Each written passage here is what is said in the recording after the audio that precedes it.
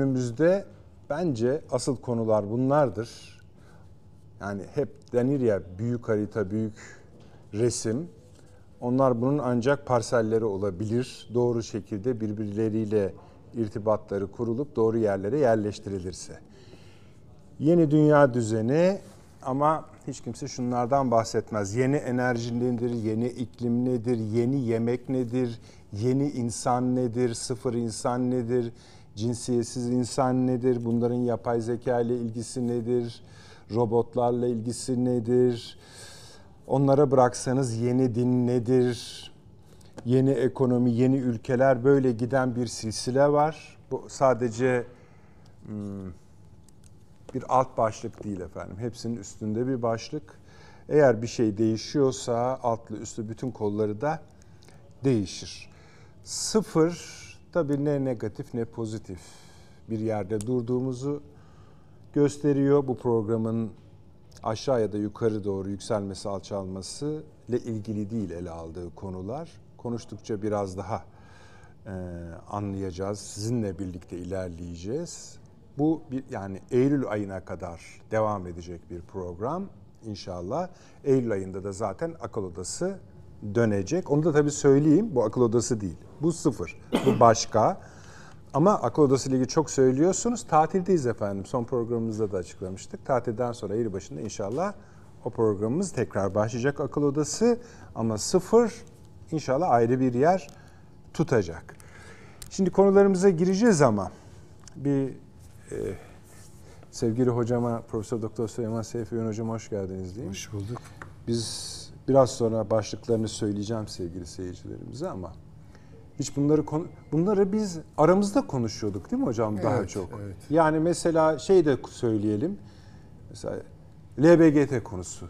Tabii. Değil mi? Yani çok politik ekonomi konuşuyorduk. Evet.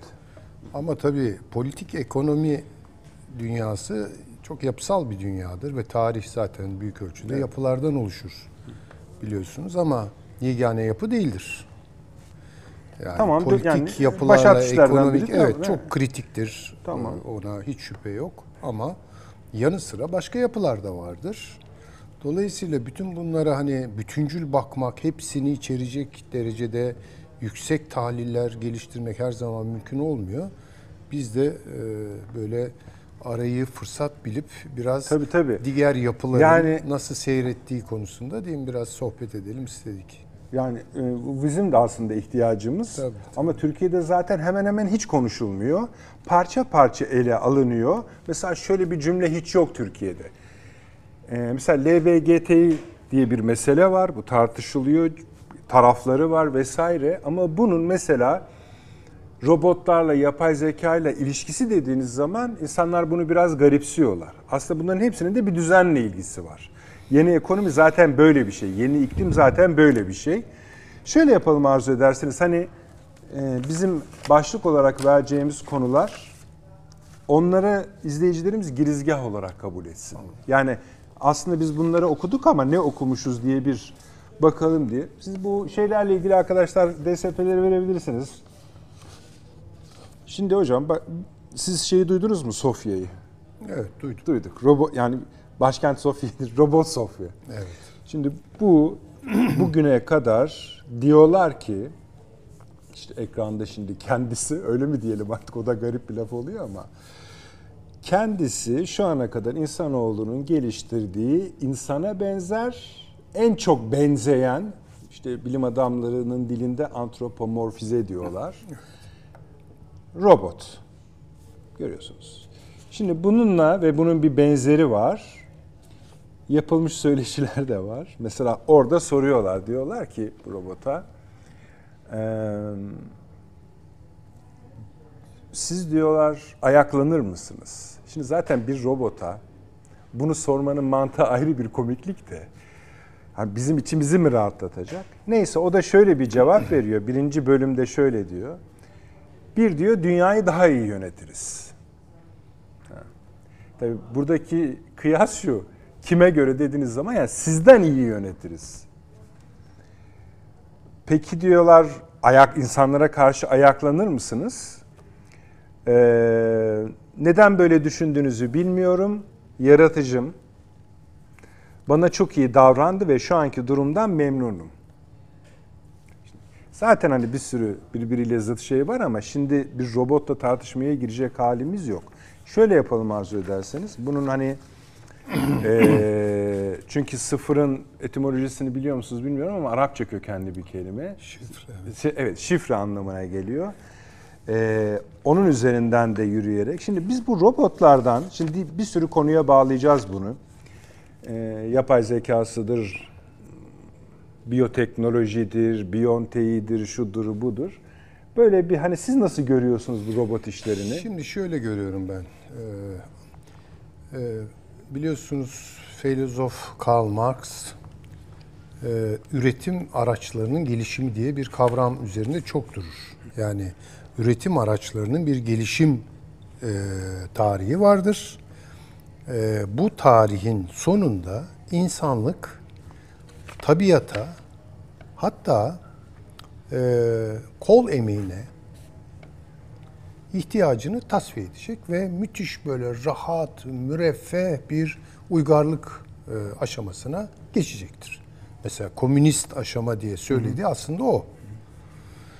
E, tabii bu bir ütopya.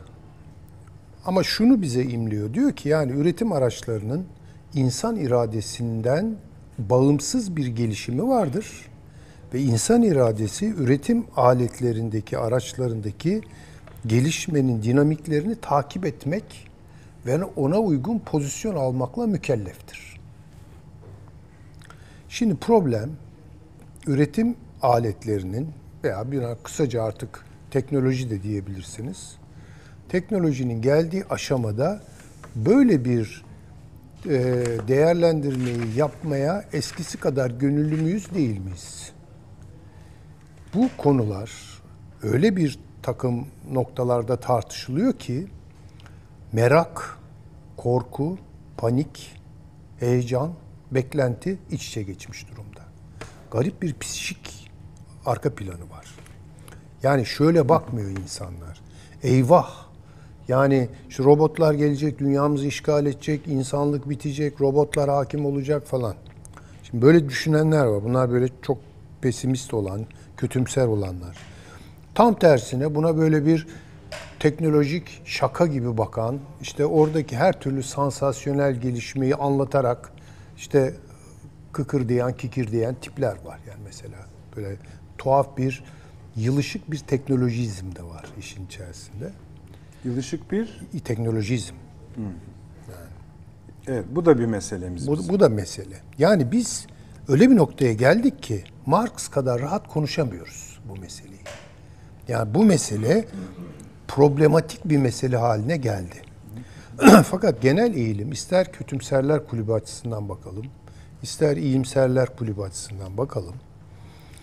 Ee, şu, hala Marx gibi takıntılı bir noktadayız. Diyoruz ki biz üretim araçlarının gelişimine tabiiz. Yani teknoloji bizi bir yerlere götürecek. Önemli olan, önemli olan bu gidişatta kontrolümüzü sağlayabilecek miyiz, sağlayamayacak mıyız? Onu istediğimiz bir noktada sürdürülebilir hale getirecek miyiz, getiremeyecek miyiz? Problem bu.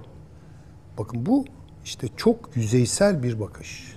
Peki yerine ne koyalım? ha yerine ne konulacağını tabii ben keşke bilsem de Mesela söylesem. Şöyle olmaz mı? Mesela ben size bir öneride bulunayım. Mesela metafizik boyut buna eklenebilir mi? Yani şöyle yani, yani mesela bunu, bunu şüpheci mi bulursunuz? Şimdi bakınız mesela bunu Türkiye'de de seslendirenler var. Hı hı. Hatta böyle hakikaten nöroloji uzmanları falan böyle e, iyi e, bu beyin meselesini falan bilen, iyi bilen çevreler diyorlar ki gidişat çok kötü. Ahlakımızı diriltelim. Yani biz bu sürece ahlaki bir müdahalede bulunalım. Şimdi bu demekle olacak bir şey değil. Bunun da çok naif bir düşünce olduğu kanaatindeyim ben. Çünkü üretim araçlarının veya artık rahat rahat kullanabiliriz teknolojinin gelişimi var olan iktidar ilişkilerinden kopuk değildir. Şimdi biz öyle koyuyoruz ki teknoloji böyle bağımsız bir güç. Aynı şeyi ekonomide yaptık, aynı hatayı. alıp bizi götürür bir yerlere ve muhtemelen iyi bir yerlere, bazıları hayır kötü bir yerlere. Şimdi bu iyi ve kötü tartışmalarını örgütlüyoruz bunun etrafında. Bu çok sorunlu bir şey. Örgütlemeyelim mi? Bence örgütlemeyelim. Ne yapalım? Örgütlenilecek düşünce şudur. Mevcut iktidar ilişkileri tarihi açısından yorumlayalım bunu. Ve eğer biz bu konuda tarihimize müdahil olmak istiyorsak, iktidar ilişkilerinin içinden gelen bir perspektifle müdahil olabilirsek, Bu durumu iktidar- kontrol yani. Dünya iktidarını mı kastediyorsunuz? Genel olarak iktidar ilişkileri. Ama bunların üret ha, genel olarak diyorsunuz ama me- küçüğe indiremeyiz herhalde. Çünkü bu, bu uygulamaların ya da yeniliklerin bütün modelleri daha böyle dünya çapında bir para, Şimdi- sanayi Ha, filan işte sunuyor. iyi yani Evet. bakın iktidar Tamam. iktidara İk- gidiyoruz tamam, yani. iktidar, ona bir itirazım Şimdi bu yok konuşulmuyor. Yani Musk Elon Musk tek başına konuşuluyor veya Bill Gates tek başına konuşuluyor. Böyle münferit figürler etrafında değil. Çünkü iktidar bir yapıdır. İktidar yapıları vardır hatta. İktidar yapılarının içinden geliyor teknolojik gelişim. Güzel. Tamam. e, bunu tarif ediyor muyuz? Evet, ediyoruz bunu tabii ki. Organizasyonunu şemasını çıkarabiliriz de hocam. Acaba şeyini yapabiliyor muyuz? Mesela teknoloji firmaları artık daha çok siyasi erkin parçası. Peki bunları bize bunlar bunlar yoluyla mı yani sunuyorlar? Robotlardır, yapay zekadır. Tabii ki yani şuraya geldi. Her zaman politik ekonomilerin, e, politik ekonomi temelli iktidarların e, yönlendirdiği ve fonladığı incelemeler, araştırmalar, geliştirmeler, ARGE çalışmaları bunun üzerinden gelişti teknoloji. Ya bu adamlar parayı koyuyor. Birileri parayı koyuyor. Ve o parayla o teknoloji üretiliyor. Mesela diyelim ki Silikon Vadisi veya MIT Amerika'daki falan baktığınız zaman. Bunlar e, e, şeydir e, sonuçta fonlanmış e, merkezlerdir. Veya Çin'de de vardır bunların, Türkiye'de de olabilir. Ya bu iş bir kere parayla çok alakalı. Paranın güçlerinin bu yatırımları yapması ve oradan türetilen bir takım şeyler üzerinden yeni bir dünya kurgulamaya doğru süreci yönlendirdikleri kanaatindeyim ben. Yani teknolojinin öyle bağımsız bir tarihi yok. Yani teknoloji bizi alacak bir yere götürecek diye bir şey yok. Hani ekonomiyi de böyle konuştuk ya biz özellikle duvar yıkıldıktan sonra ekonomizm yaptık. Yani bırakın ekonomiyi ekonomi olarak kalsın. Ekonomiye kimse müdahale etmesin. Ekonomi neylerse güzel eyler falan diye böyle bir liberal e, şeyli, e, ne- neşeli bir e, yaklaşım vardı. E, baktı ki çok kötü yerlere götürüyor. Şimdi neoliberalizmin üzerinde herkes atıyor tutuyor değil mi? Şimdi aynı şey burada olacak. Yani teknoloji böyle bağımsız bir şeymiş gibi. Böyle teknoloji enstitüleri var, teknoloji merkezleri var. Birileri orada çalışıyor, bir şeyleri buluyor, çıkarıyor falan. Hayır. Bu fevkalade yönlendirilen, fevkalade titiz ve sonuca odaklı çalışmaların ürünü bunlar. Şimdi siyasi erki değiştiriyor ama biz insanı da değiştiriyor. Bu yeni Ha. Şimdi Orada çok doğru. önce-? Çok haklısınız orada. Hemen söyleyeyim. Çok konuştum. Estağfurullah, Ee, şöyle, e, problem şu. Bu politik ekonomik iktidarların yatırımlarıyla ve yönlendirilmeleriyle oluşan yeni teknolojik evre. Yani elektrik bir aşamaydı, elektronik bir aşamaydı, dijitalleşme başka bir aşamaydı ve işte artificial intelligence dediğimiz AI. Ha, oraya Yapay zeka, geldik. tamam. Ya o da şöyle, bunun zaten fikirleri ve e, şeyleri, modelleri hazırdı. İşlem kapasiteleri arttıktan sonra 1950'lerdeki o çip devriminden sonra bu iş uygun bir kapasiteye de kavuşunca kendiliğinden elma olarak e, düştü dalından yani üzerimize. Problem şu. Gene Marx'a atıfla konuşalım. Üretici güçlerin tarihi itibariyle ilk defa bu momentte varılan aşama her şeyi teknolojik kılmaya dönük ve insanı tarihinden tard etmeye, tasfiye etmeye dönük sonuçlar veriyor. Hah, bu ilginç. Tamam. Dolayısıyla bir insansızlaştırma, dehumanization dediğimiz bir noktaya geliyoruz. Tamam bu, bu çok önemli çünkü hani yaşam e, ter, hareketlerimiz değişiyor tamam ama bir form olarak da türün değişmesi gibi Tabii. e, bir şeyle karşı karşıyayız. Bu hocam bu gençlerin bazı e, e, hani mahfillerde kendi aralarında yaptıkları oturumlar var. Böyle sohbet ortamları falan. Bunlar genellikle böyle komedi türü gibi şeyler oluyor. Bunlara biraz daha ben bakıyorum. Orada da parlak fikirler çıkıyor. Şimdi tam hangisi hatırlamıyorum ama şöyle bir e, gözlem yap, yapmışlardı. Bir 11'i de verir misiniz arkadaşlar? 11'i. Diyor ki e, bu diyor işte marketlerde, süpermarketlerde böyle streç içinde darlanmış, e, vakumlanmış sosisler vesaire var ya. Bu diyor sabah koşusu, koşularında sokaklarda gördüğünüz insanların kıyafeti herkes onun içine girmeye çalışıyor diyor. Şimdi hani böyle ilk bakışta hani bu korelasyon bu benzetme doğru mu diye düşünüyorsunuz ama et üzerinden bir ilişki kurduğu için bu akıl bu örneği vermemin sebebi şimdi bakın insan çağına giriyoruz diye bir haber. Şimdi biz hani tam neredeydik ki? Ya bu başlığı atan dünyadan haberi olmayan biri. Ama Kusura işte bu yabancı yani tabii çok- şeylere çok- dayandığı için. Ya çok büyük bir kasıt var ya büyük bir cehalet var. Böyle bir başlık olmaz. Tam tersine insanın tasfiye edildiği bir çağa doğru gidiyoruz. İnsanın tarihinden tard edildiği. bu şey ne? Hani paradok yani neden bu zıtlık var? Ay şimdi problem bu nöro, Neuralink yani biyoteknolojide esasında büyük ölçüde doğdu. Yani eskiden biz diyelim ki bir dijital aleti, bir elektronik aleti gene bedensel bir tasarrufta bulunarak kullanıyorduk. Öyle değil mi? Yani fişi prize takıyorduk değil mi? Veya elektronik bir aletimiz varsa onu da işte çalıştırıyorduk, kuruyorduk vesaire. E dijital dünyaya geçtik. Yani baktığınız zaman evet sonuçta gene işte beş parmağımız, vücudumuz alet bizim vücudumuzun uzantısı gibi. Tamam. Tamam. Yani bu en çok İlk cep defa. telefonları üzerinden verilen bir örnek. Ama yanlış işte o. Bakın bu da çok yanlış. Şimdi gelinen noktada bu dijital tarihin bu yapay zekaya evrildiği noktada Neuralink denilen bir şeyden bahsediliyor. Yani biz aletlerin içine giriyoruz, aletler de bizim içimize giriyor. giriyor. Şimdi bakın bu insan çağını tarif etmiyor. Bu tam tersine insanın makinalaşması veya makinenin insani bir e, şey göstererek İnsansı. Evet insansı. Bravo. Çok özür dilerim. İnsani başka bir şey. Estağfurullah. Çok daha doğru söylediniz. İnsansı, insana benzer bir modelleme üzerinden gene insanın içine girmesi.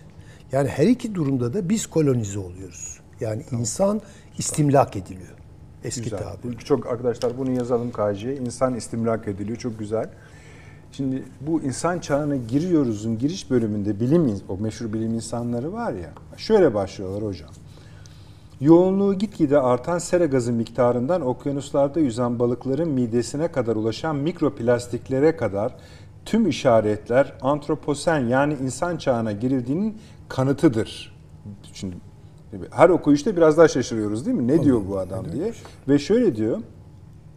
Kırılmanın yani buna geçişin 1945'te başlayan nükleer silah testlerinden kalan izler nedeniyle daha önce hiçbir şeye benzemeyen bir ra- radyoaktif varlık bıraktığını. Şimdi varlık kelimesi aslında bizde canlı karşılığı. Şimdi bunları böyle topluyorlar, böyle zıt zıt şeyler e, bizim önümüze sunuyorlar. Bir tane daha vereceğiz. O dördü verir misiniz arkadaşlar? Şimdi hocam bu da ilginç bir şey. Şimdi bakın robotlar yaşam süreleri olmayan Evet. tür mü diyeyim ne diyeyim? Yani makinalar. Ee, şimdi bu haber mesela diyor ki laboratuvar ortamında hücreleri gençleştirmeyi başardıklarını Ha, şimdi bu biliyorsunuz tıbbın en büyük hatta multimilyarderlerin, zenginlerin en büyük hayali. Yani hücreyi durdurduğunuz zaman yaşamı katlayabiliyorsunuz. Yani düş başlığı da öyle mesela 100 yaşındakiler genç sayılabiliyor. İnsanın en zayıf tarafı Yani ölümsüzlük arayışı böyle bir şey. Bu da deminki olay gibi bir zıtlık bizim önümüze getiriyor. Bir yandan başka tür bir zekaya, başka tür bir bedene koloni oluyorsunuz. Bu tersine bir şey. Bir yandan da böyle bir şeyden bahsediliyor. Yani bütün yönlerde. Şunu şunu bir şöyle yerine yerleştirebilir miyiz hocam? Şimdi bu konularda bir tavır takınmak bilim teknoloji düşmanlığı veya bu konularda bu konuları desteklemek bir tür hani e, bilgi arsızlığı, bilgiye yüklenmek gibi tartışmalar getiriyor. Şimdi biz bunları ele alırken, hani ilk program ya bu, meseleyi neresinden tutacağız? Tabii. Yani efendim bunlar komple kötüdür, yakın robotları mı diyeceğiz? Şimdi tarihte ludistler vardır biliyorsunuz hı hı. değil mi? Bu ludistler evet. makine kırıcılar diye de bilinirler. Makinalar ilk işte yani çok, çok ilkel makinalar tabii. İşte 18. asırın manifaktür endüstrisindeki makinalar ne olacak? Bunlar ilk defa kullanmaya başlanınca alışılmış aletlerin dışında yeni bir takım aletler insanlara olan ihtiyacı azaltmaya başladığı noktada bir reaksiyon doğuyor. Ee, işte önderlerin adı galiba e, Ludisler olarak bilinen gruplar makinaları kırıyorlar. Şimdi bunu biz dini tarihte ikonoklastizm olarak biliyoruz. Yani bir e, ikona kırıcılık vardır. Bizde mesela bir put kırıcılık vardır. Ama tersi de var diyorsun. Ha. Şirk ne bunlar şirktir değil. Tabii deyip işte yani. Şimdi bunu mesela ben teolojik olarak anlayabiliyorum. Hı hı. Ama şimdi bir buluş var ortada. Bir alet geliştirilmiş ve insanların önüne konmuş ve insanı itiyor tarihinden. Şimdi emeği ne yapmış oluyor? Biraz azaltmış oluyor. Yani insanı işsiz bırakmış oluyor. Tarihte işlenerek var oluruz. İşlerimizi kaybettiğimiz zaman tarihimizden siliniriz. Bunu unutmayalım. Yani bu bir kere kesin bir şeydir. Şimdi dolayısıyla böyle bir reaksiyoner yani bir tepki var. Bu tepkileri biz bütün bir modern teknolojik tarihin her safhasında görürüz. Reaksiyonerler çıkarlar, kızarlar, kaçarlar, münzevi hayatlar sürerler. E, fevkalade kanaatkar, perhiskar yaşama modelleri, işte hippileri hatırlayalım değil mi? Yani bunlar. Fakat hani kervan yürür. Kervan yürüyor. Çünkü meseleye nasıl bakacağımızı, işte bakın mesela ilk girişte söyledim Karl Marx'ın tespiti. Doğru evet. Tamam da o doğru üzerinden geliştirdiği her şey yanlışlandı. Yani bir şeyin doğru olması da o kadar önemli değil. Haklı olmak da o kadar önemli değil. O doğruyu sürdürmek önemli. O haklılığı devam ettirmek önemli. Şimdi benim düşüncem meseleye iyiler, kötüler, doğrular, yanlışlar, yani böyle ikili muhasebeleştirmeler üzerinde ahlaksızlar ve ahlaklılar falan gibi. Şimdi bu 19. yüzyılın roman anlayışıdır. Yani Victor Hugo her şeyi yazar, sonuçta iyi bir adam gelir, ümit olur falan değil mi ya? Christmas Carol'da falan böyle iyi bir adam Dickens'ın romanında ya dünyayı iyiler kurtaracak. E güzel de yok ama azalıyorlar bunlar. Bir de böyle bir gerçek var yani. Şimdi biz ne yapmak durumunda? Bir, bizim yapmamız gereken şey benim e, şahsi düşüncem hiç kimseye önermiyorum bir teklif olarak sakın anlaşılmasın ama yani zihnimde koyduğum yer bir kere iktidar ilişkileri meselesine en nüfuz edici bir şekilde, en kavrayışlı bir şekilde bakıp onun içinden bu meseleyi tartışmaktır. Yani sonuçta biz gene iktidar ilişkilerini tartışıyoruz.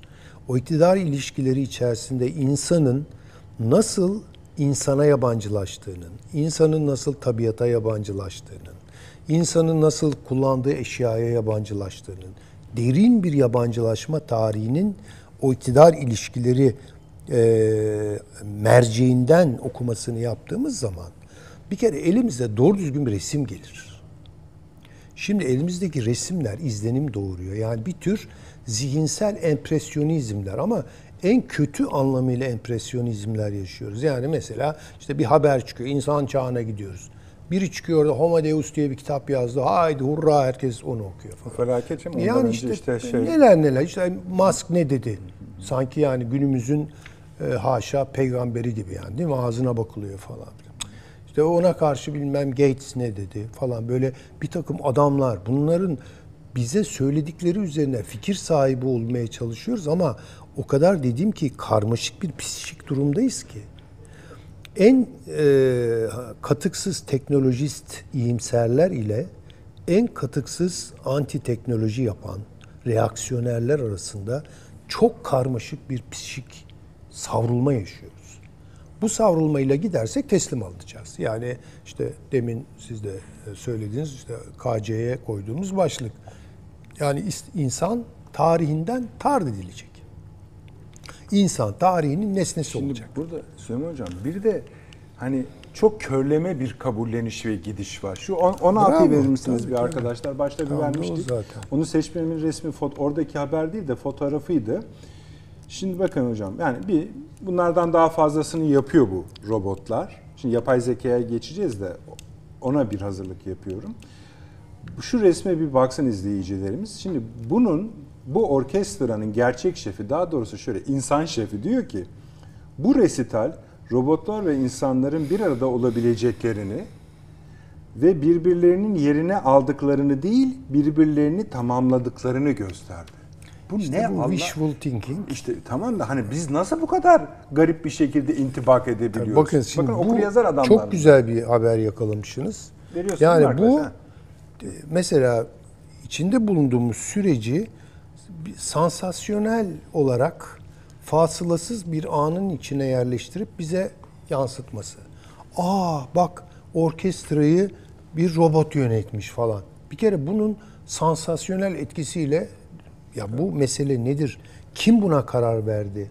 Bu süreç nasıl pişirildi, buraya getirildi? Bu haber nasıl servis edildi? Ne için? Bunları sormuyoruz. Sonra iki gün sonra başka bir olay patlıyor. Oo bir teknolojik bomba daha. Yani ve bunların böyle tuhaf esirkilik diyorlar ya yeni Türkçe'de sarhoşluğu. İki tip çünkü olur bu. Bir berbat eder sarhoşu, bir çok şenlendirir biliyor musunuz? Yani esirklik hali iki türlüdür. Bir rezil eder insanı, bir de çok şenlendirir falan. Yani iyimserler ve kötümserler aynı esrikliği yaşıyorlar.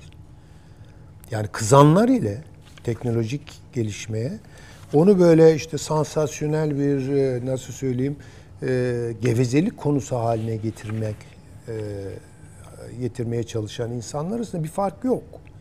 Çünkü aynı problem devam ediyor. Bunu iktidar ilişkilerinden kopartarak anlıyoruz biz. Teknolojik tarih gelişiyor falan. Şimdi bakın mesela bizde de böyle bakıyorum ben bazı haberlere. Türkiye e, yapay zeka e, e, sürecindeki yerini nasıl alabilir? Sanki alması Allah'ın emri. Yani böyle bir mecburiyet var. Çünkü geri kalırsak çünkü çok kötü olacağız. Ya bir dakika bu gemi bizi nereye götürecek falan bunu sonra neden yok. Ve bu çok şaşırtıcı bir şekilde en dindar çevrelerden bile destek ve ilgi görüyor. Şimdi bak, ha, şimdi o zaman şuraya geliyoruz. Ee, bir metafizik boyut var hocam burada. Yani çünkü hani iktidar ilişkileri üzerinden okumak demek aslında o iktidarın içindeki kimi kümelerin e, bir başka arayış içinde de olduklarını ve bunu dünyaya bir yandan empoze ederken onu da derlediklerini bize anlatıyor. Şunu kastediyorum. Şimdi mesela sosyal medya değil mi? Hiç kurtuluş var mı? Siz kurtulmuş durumdasınız da. Benim için. toplumun hakim kanaati, daha doğrusu hakim kesimi buna ortak. Şimdi bakın Twitter'ı, Instagram'ı, artık yenisi de çıktı. Facebook'u, şu su, bu su falan ve bunlarla ilgili haberler bile yani orada bir şey yaşamak başka bir de bu kurumlarla ilgili haberler bile e, konvansiyonel medyanın ya da kamuoyunun ilgisi olabiliyorlar. Şimdi şöyle bir şey var. Buradan öyle bir hasat yaptılar ki öyle bir hasat yaptılar ki her açıdan. Sizin fiziğinizden yaşam alışkanlıklarınıza saymamıza tek tek hiç hiç gerek yok. Siyasi görüşünüzden efendime söyleyeyim hani gününüzü nasıl geçirdiğinize ilişkin bütün insana ait her şeyi derledi. Bugüne kadar biriktirdikleri insanlık tarihinin bütün bilgilerin üzerine insanın kendisine ait her şeyi yığdı. Büyük data. Büyük data ama bunun bizim şu anda karşımıza çıkan formu artificial intelligence AI ya da yapay zeka denilen tırnak içindeki mahluk. Tabii dijitalden farkı o çünkü. Buyurun. Estağfurullah. Yani şimdi e, elektrik Avrupa'nın işiydi. Elektronik Japonların işi. Biraz da Amerikalıların işi. Veya Atlantik Pasifik işi. Dijital e, mesele ise daha çok işte Tayvan, e, Kore, e, Hindistan filan oralarda gelişti. Şimdi dijital ne yapıyor? Dijital dünyada veriler toplanıyordu. Yani bilgiler toplanıyordu. İşte mesela Google'lamak diye bir yani ne arıyorsak Google işte soruyorduk, Google bize söylüyordu. Artificial intelligence yani yapay zeka ne? Yapay zeka dijital tarihte çok ileri bir evre. Evet. Şunu yapıyor. Bilgileri ilişkilendiriyor ve manalandırıyor. Bunu ancak insan yapabilir. Yani siz Google'dan bir bilgi talep edersiniz. Doğru yanlış neyse çıkar karşınıza. Siz onu okursunuz. Ha bir de şu kitapta bir şey vardı dersiniz. Bir de ona bakarsınız. Sağlamasını yaparsınız. Değil mi? Hani onu kullanırsınız bir yerde bir şey için. Google'ı geçiyor artık. Tabii o sizin, çok ge- geçiyor. sizin ihtiyarınızda hala o. Ama Artificial Intelligence'da şöyle bir şey var. Biri sizin dışınızda sizin yaptığınız bu işi ilişkilendirme, anlamlandırma, değerlendirme ve yorumlama işini yapıyor. İşte bu bu da insansı.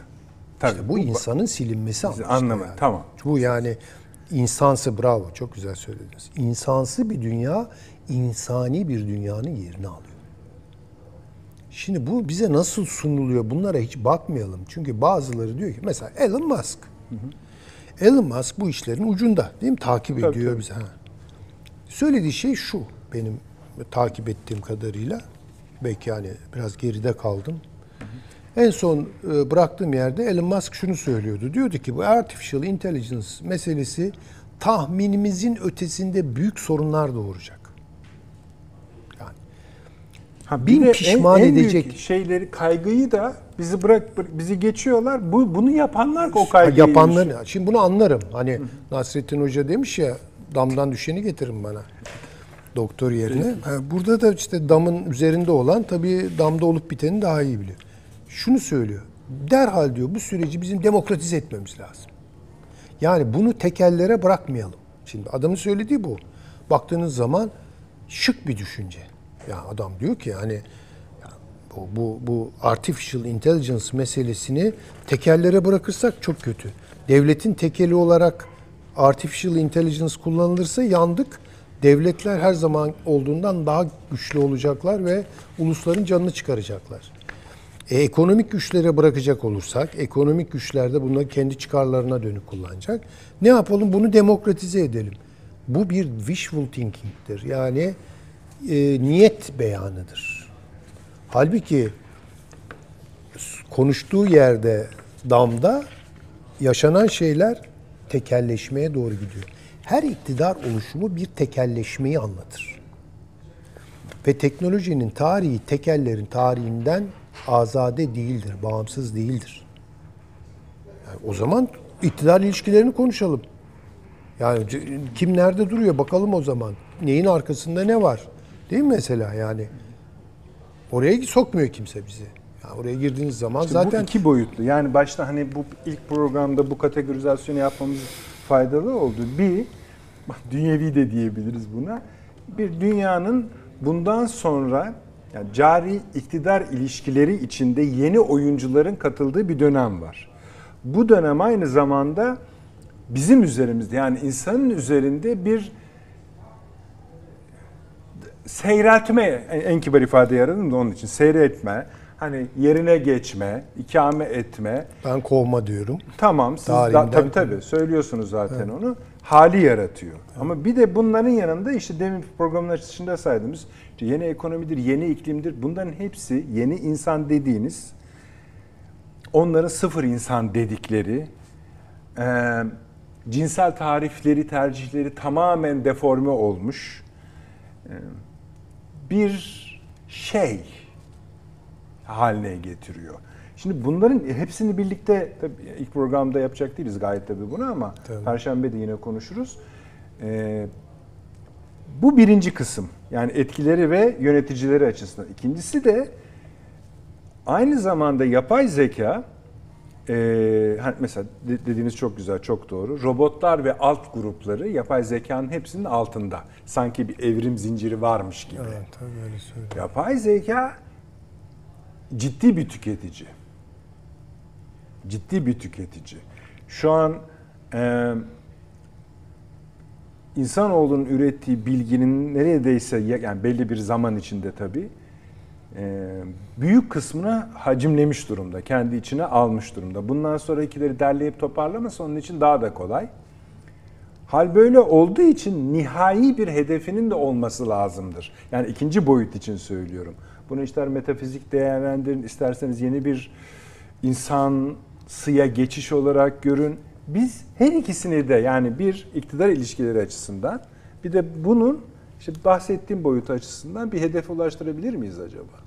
Şimdi şöyle, e, öngörülerle gerçekleşenler arasındaki açık tarihin her aşamasında e, karşımıza çıkar. Yani yapay zekanın bizi şuraya götüreceği konusunda ve işte orada şunların şunların başımıza geleceğine dair çok sayıda senaryo geliştirebiliriz. Yapılıyor zaten bu. Yani füturo, füturoloji diye bir şey var. Bunların içinde çok sağlam ayakları yere basanlar var. Bir de uçanlar var. Her neyse yani. yani sonuçta işte yapay zeka bizi şuraya götürüyor. Bakın bu kestirilebilir bir şey değildir. Teknolojinin nasıl bir dönüşüm doğuracağını ne onu üretenler bilebilir, ne onu e, işte belli bir aşamada yönlendirdiğini e, düşünenler bilebilir.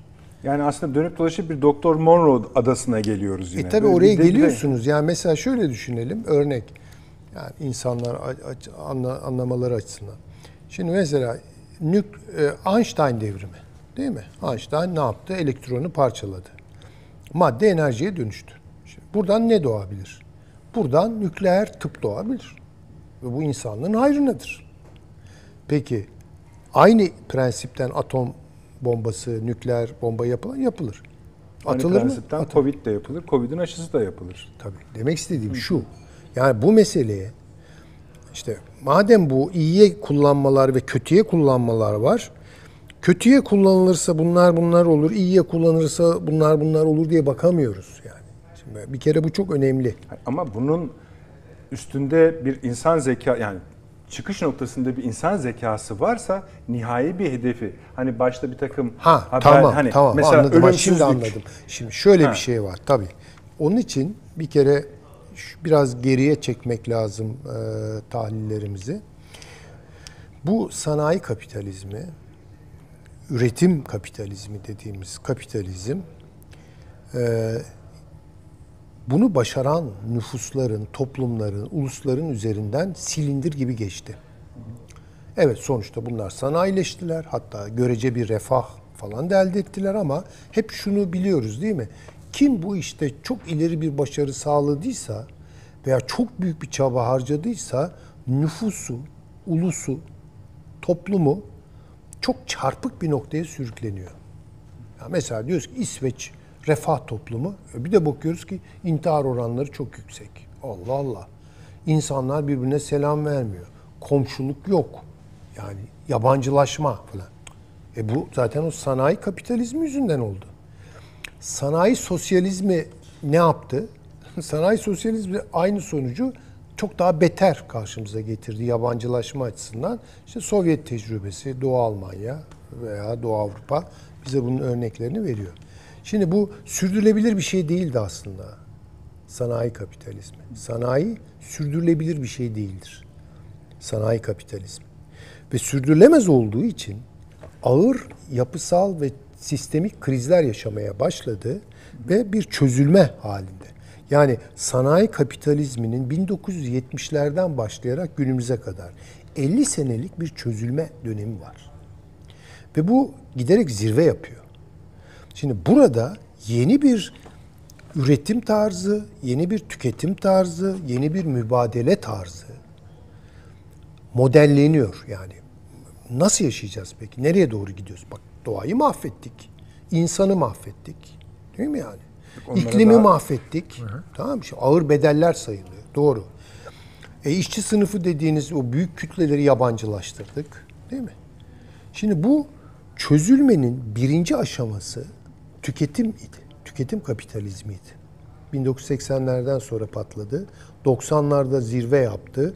2000'li yılların başlarına kadar böyle çok mutandan bir patlama.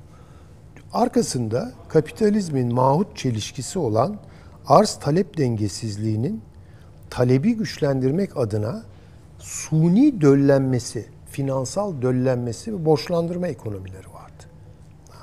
Şimdi şöyle söyleyeyim. Bu da insanı insanlıktan bir kere daha çıkardı. Bak, kapitalizm iki türlü vurdu insanlığa. Bir, üretim ideolojisi açısından vurdu.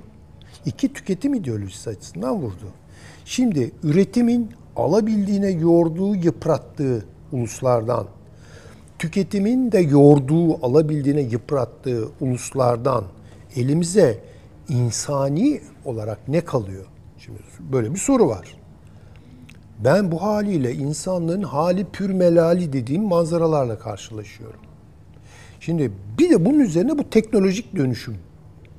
Şimdi beklenen ne? İki türlü hırpalanmış ve tarihi karşısında etkinsizleşmiş. Bir, üretim ideolojisi, iki tüketim ideolojisi açısından yıpratılmış insanlığın silkinerek çok büyük bir muhasebeye girişerek ve örgütlü bir muhasebeye girişerek bu süreci insani kılmasının ne kadar zor olduğunu teslim etmemiz gerekiyor. Ama birileri bunu bir fırsata çeviriyorlar. Nedir o? İnsan sorunlu bir varlıktır.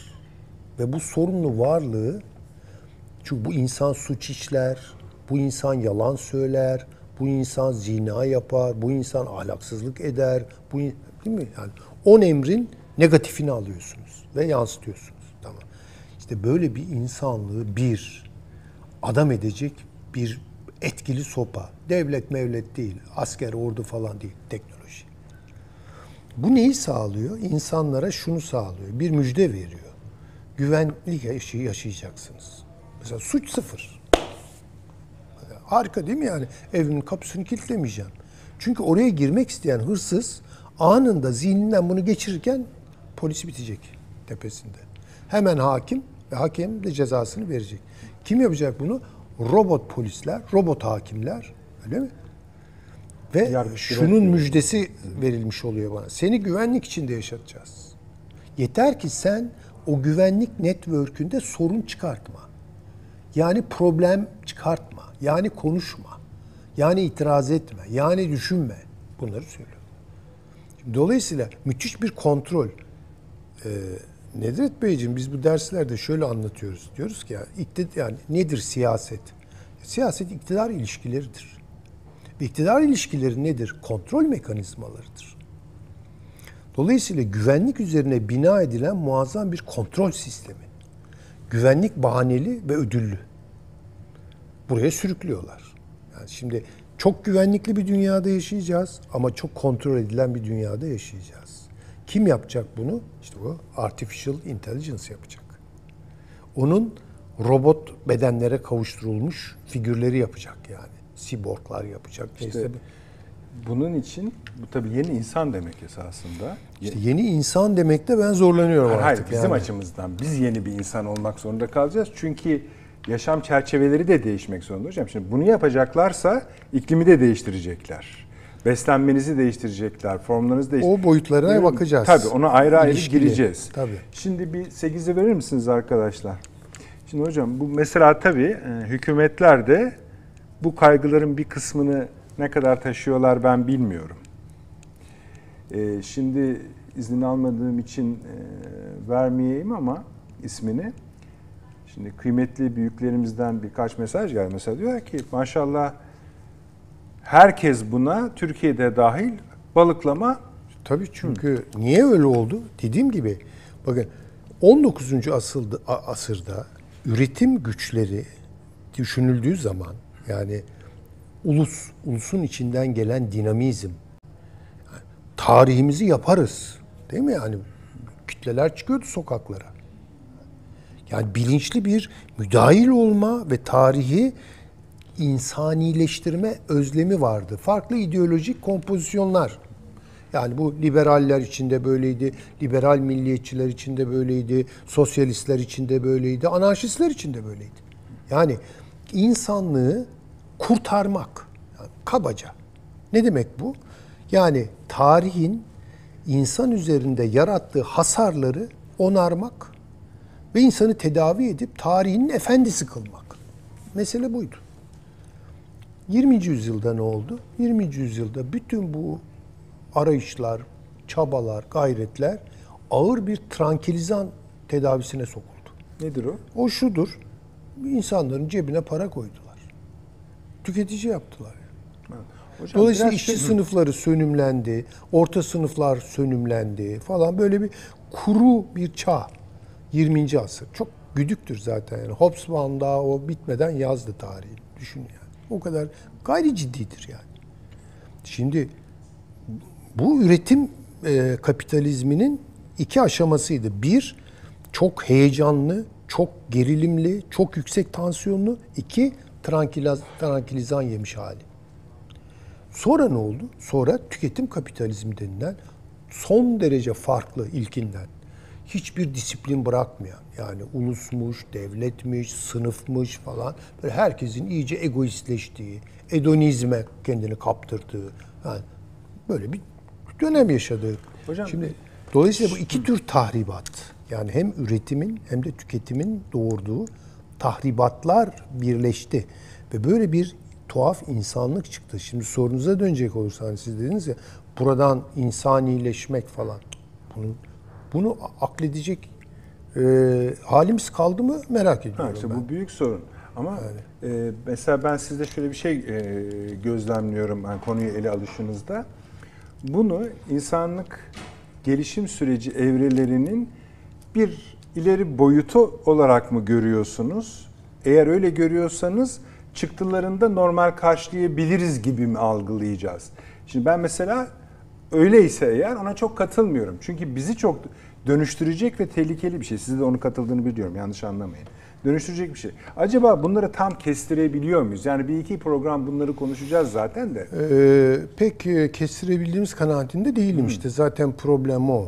Yani e, iyiler ve kötüler teknolojist e, çevrelerle hayli şımarmış ve yani böyle fütursuzlaşmış böyle teknoloji vaazları veren adamlar var. tabii Bunlarla Ha, evet yani böyle işte teknoloji şöyle filan ileri uçlarda şunlar oluyor filan. Yani anlatıyorlar size yani mesela. Bir de çok kötümserler var. Lanet olsun nereye gidiyoruz falan diyen yani ludist kafalı insanlar var. Bunların arasında salıncaklanıyor insanlık. Ve bunların içerisindeki arasında kalan daha doğrusu bu iki zıt akımın arasında kalan büyük kütleler ise şaşkın vaziyette. Evet evet. Yani şaşkın da aslında kapılmış da gidiyorlardı. Yani evet yani bakıyor ne güzel Peki işte hocam cep şöyle telefon. yapabilir miyiz? Mesela diyelim dört program içinde biz bu üst evreni tarif edebilir miyiz? Edebiliriz tabii modellemeleri var çünkü bunun. Yani mesela iklimi konuşabiliriz, sağlığı konuşabiliriz, bedeni konuşabiliriz, insan bedenini konuşabiliriz. Ee, efendim söyleyeyim işte yapay Enerjiyi zeka, konuşabiliriz. robotlaşma. Tabii tabii. Bunlar hani bunlar esasında orduları. Ben öyle düşünüyorum. Yani kendimize göre birçok açıdan tarif edebiliyoruz ama bunlar ordular. Nihai işte o üst evreni biz doğru dürüst bir tarif etmemiz gerekiyor gibi geliyor bana. Bunu dünya yani şey dışarıda da çok görmüyorum. Yani bir takım eleştiriler getiriliyor. İşte yeni ze- yapay zekanın şu sorunları var, robotiklerin bu sorunları var vesaire bilmem ne falan. Bunlar yazılıyor, çiziliyor. İyi yazılar da var hocam. Muhakkak yani batıda var. da var hani yani Tabii ki var. mesele iyi alan. Ama dedi- dediğiniz gibi yani öyle bir bilgi kirliliği ve e, Hocam tam mahfilleri sansasyonel- anlatabilecek miyiz burada? Mahfilleri. Yani hani dedi ki Amerikan Kongresi'nde bir briefing alıyorlar. Orada bütün senatörler orada, şunlar da orada.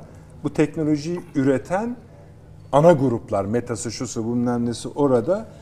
Adamlar diyor ki yani şundan mı emin olmamız gerekiyor? Bu zaten ilerleyecek. Bari fayda şey zararlarını en alt seviyeye indirelim. Bunu mu diyorsunuz diyor. Karşı tarafta diyor ki e, E iyi olur diyor. Yani yani düşünün. Şimdi bakınız bu yani teknolojik gelişmenin şu an içinde bulunduğumuz teknolojik gelişmenin e, öncül veya cari e, bütün tatbikatları, uygulamaları, neyin nereye sirayet ettiğini falan tamamen tecrübeyle öğreniyoruz. Bir sabah kalkıyoruz. Ama biz o kadar artık yani Ha, gelişmedik mi yani? Olmuyor. Bakın ben kendimden söyleyeyim size.